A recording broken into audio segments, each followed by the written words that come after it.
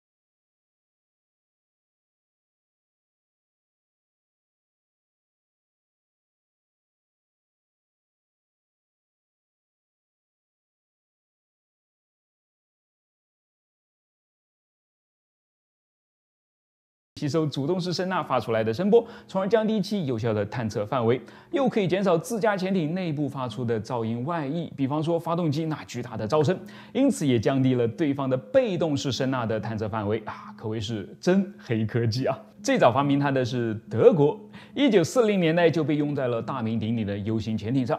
到了一九七零年代，苏联人照搬了过去，把消音砖安装到了自己的阿库拉级核潜艇上，发现真的很有效呢。经过这个大约十厘米厚的消音砖包裹之后呢，该级核潜艇的声学特征直线下降了二十分贝左右。于是到了一九八零年代，美国和英国也学了过去，都开始在自家潜艇上用上了黑色的消音砖了。所以现代潜艇它不是被涂黑的，而是被包黑的。哎，那为什么消音砖是黑色而不是别的颜色呢？因为它的主要材料是密布着许多微小空隙的橡胶，而天然橡胶的颜色本来就是白色的。是的，本来消音砖的颜色应该是白色的，我们的汽车轮胎也应该是白色的。它们之所以被黑化呢，不是为了耐脏，而是为了耐磨。在白色橡胶里面加入碳黑材料，可以让轮胎比原来耐磨十倍以上，也可以让不断经受压力变化的潜艇消音砖有更长的服役时间。并且呢，研究还表明啊，在消音砖的橡胶里面加入碳黑作为增强填料，比使用其他增强填料更加吸音。所以为什么不用它呢？另外，当添加不同比例的碳黑填料到消音砖里面后，还可以改变它们的吸音属性，因此可以用在潜艇身上的不同部位，达到最好的隐身效果。好了，这就是黑色潜艇的黑色秘密了。总结一句就是，它的确是为了伪装，只是也许不是你以为的那种伪装罢了。我是火箭叔，关注我，把不一样的科学知识讲给你听。